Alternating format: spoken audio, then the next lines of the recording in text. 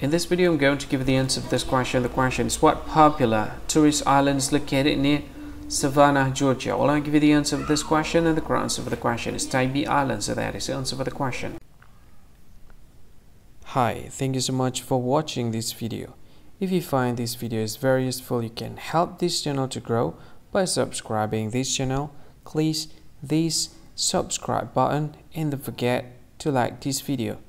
And if you find this video is not really good or you don't really like this video or you kind of feel that it's a little bit offensive or something like that, you can click this one, dislike button. You can do that anyway.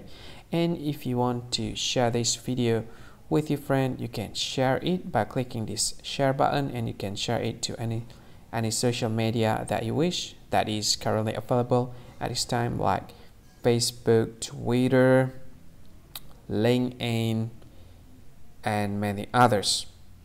Right? And if you want to add this video to your playlist, you can click this one. You can watch this video later and you can find more options by clicking these three dots. And yeah, don't forget to subscribe. I think that's all of it. Thank you so much for watching this video and see you again in another video. Bye bye. See you again.